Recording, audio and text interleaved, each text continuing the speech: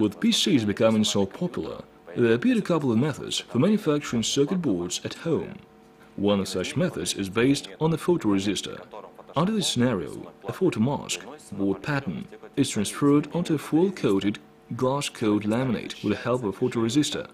The glass-coat laminate is first smoothened, degreased and covered with film or liquid photoresistor. We then use an ultraviolet sterilizer to expose the required pattern through the photomask onto the board. The photomask requires a special transparent film, which is rather costly and at times difficult to find. This problem can be solved by applying a special spray, Transparent 21, offered by Kontakt Chemie.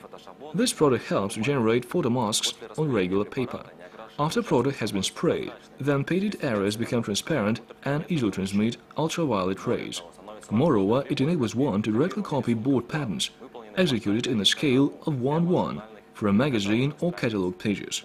Of course, it is better to do that through an interim Xerox copy, after which the product is also sprayed onto the pattern. So Transparent 21 will help you avoid the hard work of complex and expensive recopying of various drawings, schemes and patterns.